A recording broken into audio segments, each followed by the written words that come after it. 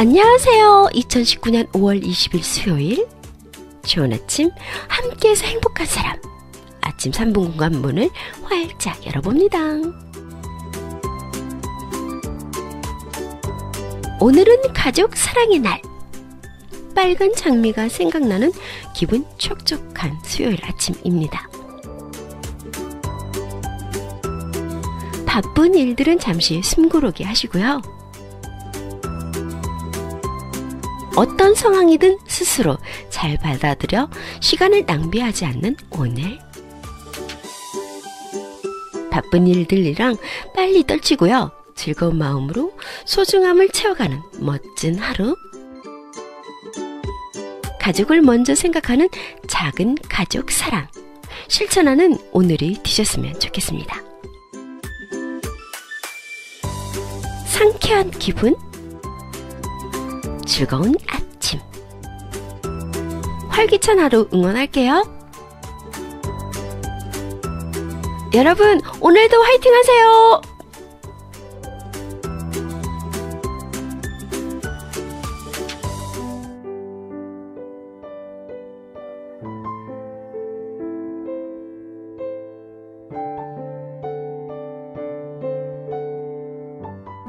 아침에 함께하면 참 좋은 글.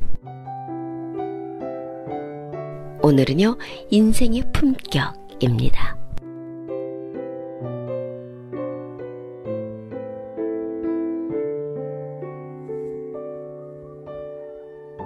역경의 시간을 소중히 여기고 배신을 당해도 섭한 시간 낭비 마라.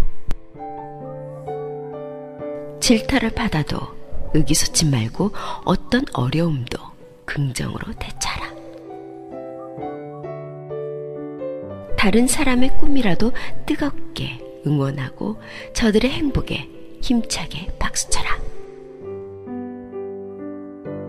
저들의 아픔을 내 아픔처럼 여기고 활짝 웃음으로 온 추위를 밝게 하라. 나쁜 일은 빨리 잊고 질투심으로 사명 인생 망치지 마라. 좋은 것으로 골라 취하고 힘 빼는 언어는 사용하지 마라. 격려와 박수로 용기 주고 기쁜 소식에 맞장구 쳐라. 순간마다 때우듯이 살지 말고 두 눈을 부릅뜨고 일할 거리 찾아라. 어떤 명함을 내밀어도 기죽지 말고 당당하게 품격을 유지하라.